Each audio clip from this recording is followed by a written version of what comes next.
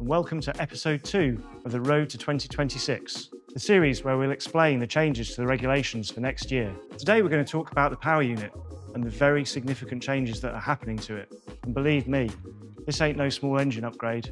This is going to fundamentally change the way the power unit works in Formula One. So why are the regulations changing? Formula One is an incredible place to push boundaries, where we can show how innovation works and develop it to a level that we're able to race it at the circuit.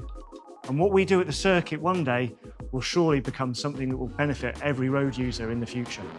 These changes have been agreed with all power unit manufacturers, and we will be seeing significant changes at the racetrack in 2026. And for Petronas, it's not just a hardware change. The 2026 regulation enables us to collaborate with other fuel suppliers to shape the Formula One fuel regulation.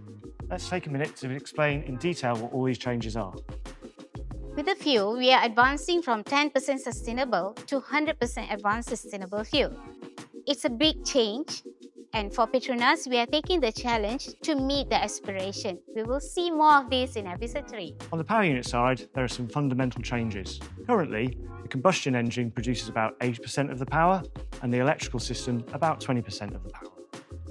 In 2026, this is going to change significantly so that the combustion engine provides approximately 50% of the power and therefore the electrical system the other 50%. In the current regulations, we have an MGUH, which captures waste energy from the turbocharger. This is going to have gone for 2026, which means we must rely far more heavily on the MGUK, which harvests energy during the braking period and stores it for later use. In the current regulations, the MGUK is 120 kilowatts. For next year, for 2026, the regulations say the MGUK could be 350 kilowatts, so almost three times the power. But of course, it won't be three times the physical size or mass.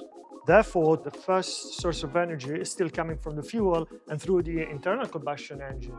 To ensure the optimum performance, our Petronas Syntium Cooltech technology has enabled to withstand higher temperature and therefore higher oxidative stress to ensure we do more with less. Also, the electrical parts need to be taken care. Of. That is the battery and the MGUK. Battery is cooled with a special dielectric fluid, which is basically surrounding all the cell elements. It's a technology which is called immersion cooling. And the MGUK, little secrets, is also cooled by the engine oil. So we have also to cater for material compatibility and performances. The changes to the power unit and the fluids are also going to impact the driver and how they use the power unit. The increase in electrical power in particular means they're going to have far more options to attack, to defend when they're going wheel to wheel. The removal of the MGUH allows new power unit manufacturers to join the competition at a far more level playing field.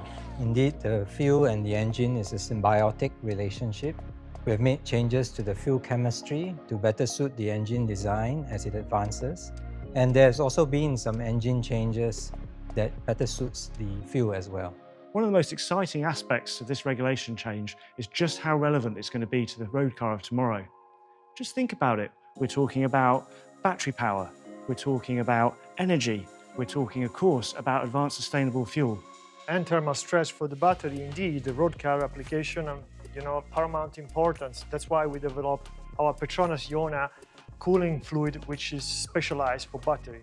It is a direct technology transfer. We have, through the fuel retail development, whether it's inside or outside Malaysia, we have had some transfer of technology from the road to the race track and also from the race track to the road. What we are learning is informing us of what we should do in road mobility, even beyond motorsport. This isn't just a change to the engine layout. This is a change to the way we fundamentally think about Formula One, the way we think about performance, the way we think about responsibility, and the way we think about the influence that we can have on the future of mobility. And we're already deep into development. The work that we're doing today will influence directly how successful we are next year and beyond. The fuel, the fluids, the chemistry. Petronas doing our parts to put the power to the wheels.